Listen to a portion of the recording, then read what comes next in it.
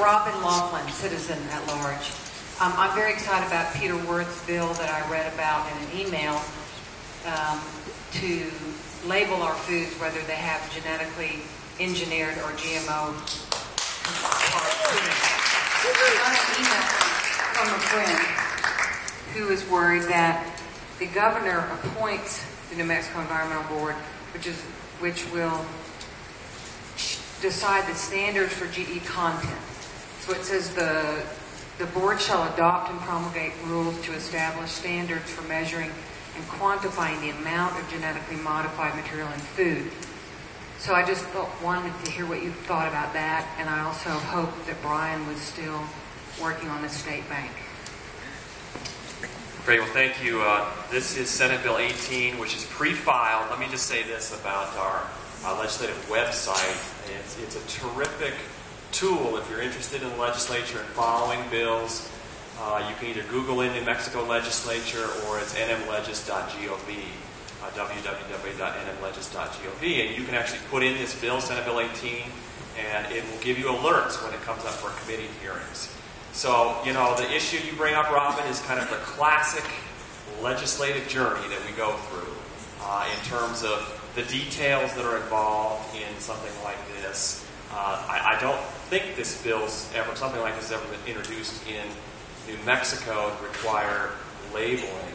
Uh, we've had a number of GMO bills uh, actually that have come very close to passing, uh, have been kind of umbrellaed under the Farmer Protection Act our local farmers, that many of whom I'm sure are selling right here at the farmers market, uh, are being challenged by GMO producers, Monsanto in particular, who's got a farm next door with a GMO crop and the seed blows across, and all of a sudden they're challenged for some kind of patent infringement.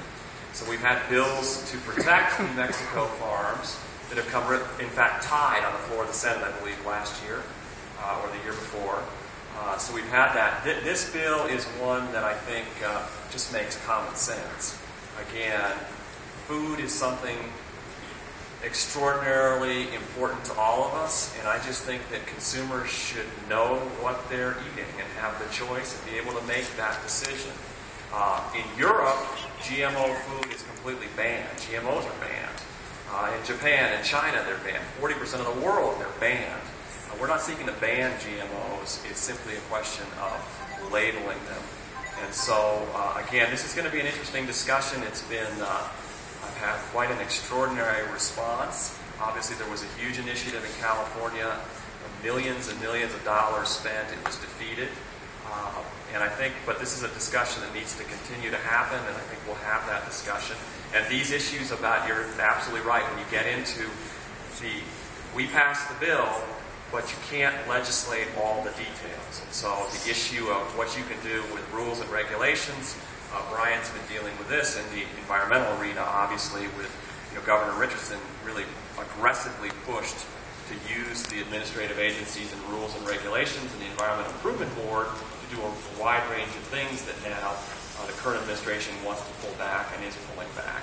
So you get this tension back and forth, and it's a, certainly a good point. But I think it'll be a good good discussion, an important discussion. Okay, Barbara Murphy.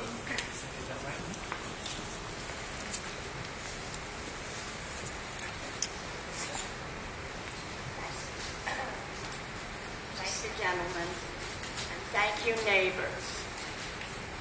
I had to write my question. I am in excruciating pain, imagining, imagining the excruciating pain of the children murdered, children who, as columnist Bill Stewart told me Sunday, felt to him like his own children. They feel to me like mine too, my little ones. But the response of my country does not feel to me like my country, but one that belongs to a crowd of unimagining, ignorant human trash the U.S. reacted to the destruction of the World Trade Center powerfully. The World Trade Center was a private commercial office building with a